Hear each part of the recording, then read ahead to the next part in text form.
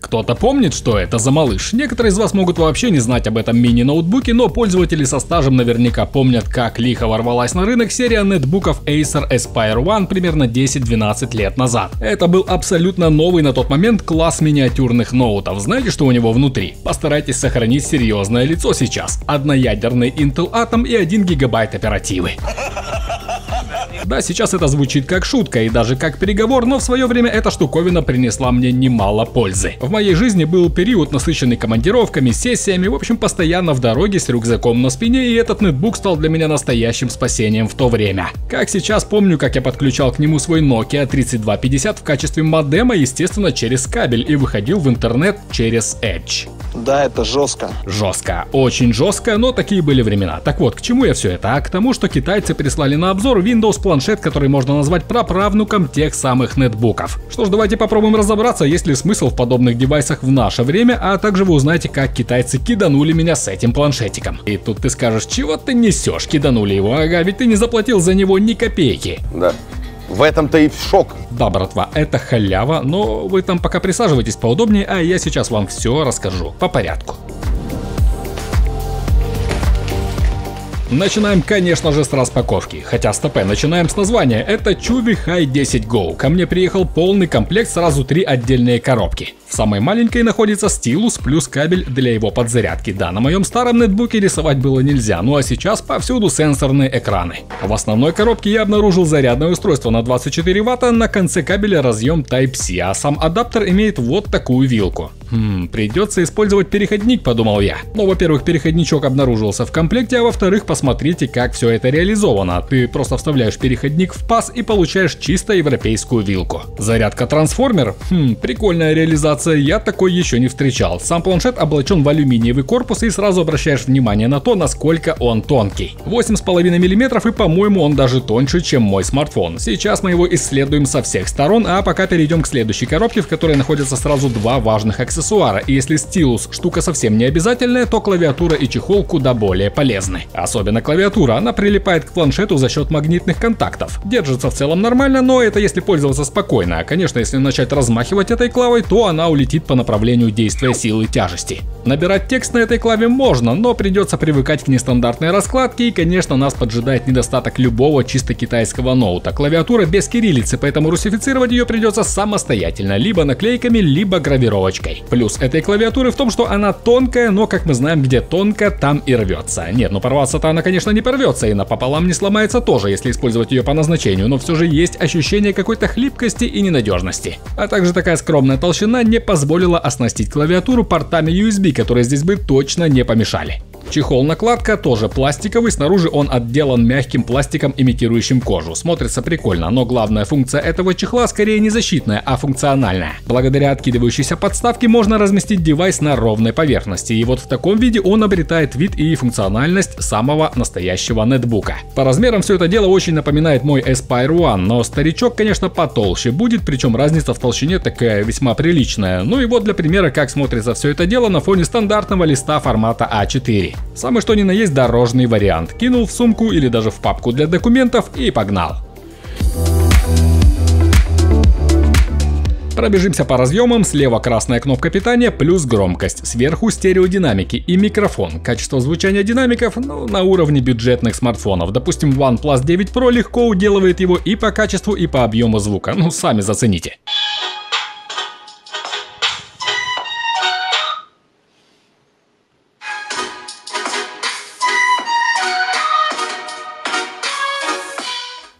Все остальное находится справа. Это музыкальный 3,5 мм джек, слот под карты памяти microSD, microHDMI и два порта USB Type-C. И все? Да, и ни одного полноценного USB-порта. Понятно, что при таком тонком корпусе не разгуляешься, понятно, что существуют USB-хабы, понятно, что, например, ту же мышку можно подключить через Bluetooth, но у меня, например, не было синезубой мышки под рукой, поэтому пришлось переколхозить переходник и получился вот такой писюн. Да, конечно, рано или поздно мы к этому придем даже в полноценных ноутбуках, но здесь и сейчас мне не хватало привычного и такого родного USB-порта. Ну вот отдам я его, допустим, своему деду, и чё, он же сразу полезет свою флешку с сохраненными рецептами рецептами самогона втыкать, а привычной дырки-то и нету. Имеется тыльная камера, но пусть вас не вводит в заблуждение такой массивный объектив. Камера на самом деле ни о чем. Лицевая тоже примитивная на 1 мегапиксель. Блин, ну вместо того, чтобы распылять бюджет на две хреновые камеры, лучше бы сделали одну, но более-менее нормальную фронталку для видеосвязи. Как сказал бы мой дед, Лучше синица в руке, чем рука в синице.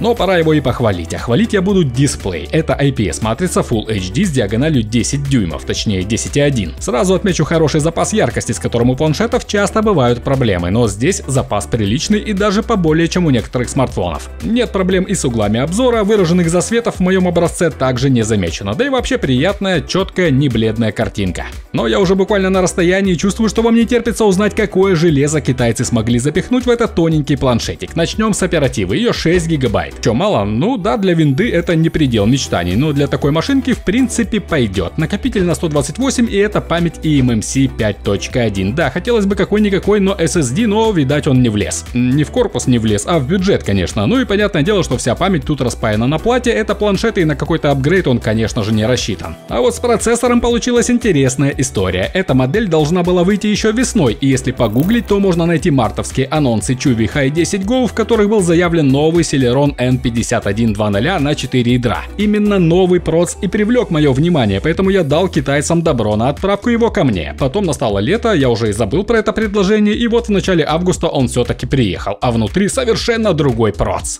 О, как! Это удар под дых. Это Celeron N4520. Да, он тоже новый, да, 10 нанометров, но всего 2 ядра и никакой поддержки гипертрейдинга, и в итоге всего-навсего 2 потока. Вот это я и называю кидаловым. Не, ну понятно, что у китайцев что-то там не срослось с комплектующими, процессор был заменен и в производство пошел другой чип, это ясно, но как говорилось в старой рекламе, Я на такой контент не подписывался. если бы я знал заранее, что здесь стоит 4520, не факт, что я бы вообще согласился на этот обзор. Короче, проц самого начального уровня, типичный двухъядерный селерончик. Я бы эти селероны ставил только в домофоны. Да ладно тебе, дед, не преувеличивай. Домофон на Селероне это жир. А что касается нашего планшета Бука, то ну вот я как раз вам показываю, как он работает с браузером, в частности с Ютубом через Chrome. Да, не самолет, да, при открытии большого количества вкладок он будет подзадумываться, но это неизбежно. Но при этом я не могу сказать, что все ужасно и с ним невозможно иметь дело. Просто нужно понимать его суть и его назначение. Перед нами чисто выездной, выходной, дорожный вариант. И никогда, ни в коем случае, даже под угрозой пыток, даже не думайте покупать такие штуки в качестве основного устройства на Windows. Вы будете постоянно испытывать чувство неполноценности и ущербности, и не только из-за бюджетного железа, но и размеры экрана не дадут разгуляться. Но где-то в дороге такой мини-ноут размером с блокнотик может стать настоящим спасением, если нужна винда. Отредактировать или просмотреть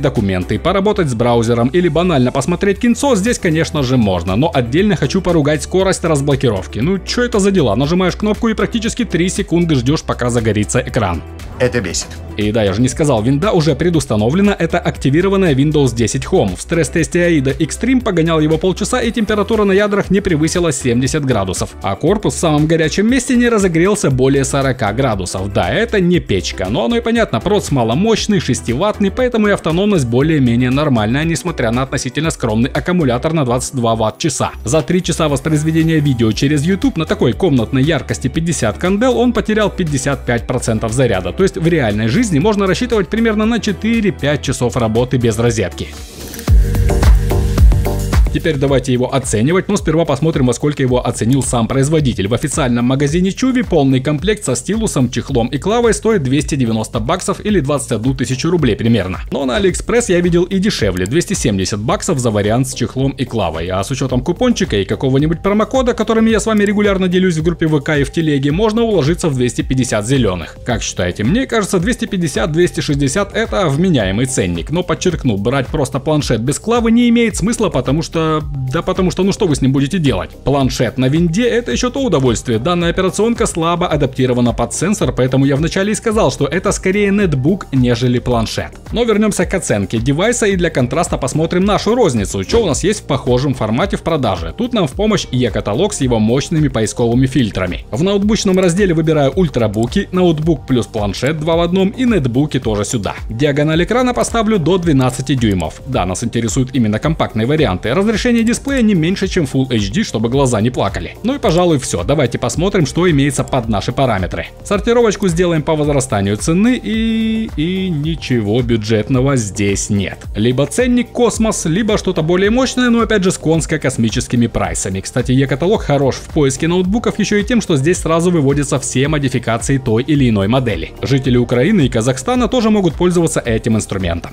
Итак, я считаю ценник в принципе адекватный, но при этом я вам ни в коем случае его не навязываю. Мне это нафиг не надо. Моя задача донести информацию, а не впарить вам очередное китайское чудо. Не стоит забывать, что в случае поломки починить такой планшет будет скорее всего непросто. Я хз, что там с комплектующими, но скорее всего все печально. Опять же, клава без кириллицы, все это компромиссы. Да и вообще эра нетбуков, конечно, давно прошла. В 2009, 10, 11 годах, да, нетбуки делали ветер на рынке. Но сейчас за окном время смартфонов. Больших, производительных смартфонов и для потребления контента, в том числе за пределами дома, люди в основном выбирают Android или iOS. Но все-таки для многих именно Windows является более привычной рабочей, а не развлекательной средой, а тягать с собой большой или даже небольшой, но полноценный ноут, ну согласитесь, не всегда хочется. Поэтому ниша вот таких практически карманных планшетобуков, а она, конечно, существенно усохла за последние годы, но думаю, она еще жива. Ну а если вы не знаете, для чего вам такой мини-ноут или сомневаетесь, то поверьте, он вам просто-напросто не нужен. Такие дела, у меня на этом все все. Буду рад увидеть ваше мнение в комментах. До связи на ютубе. Пока-пока.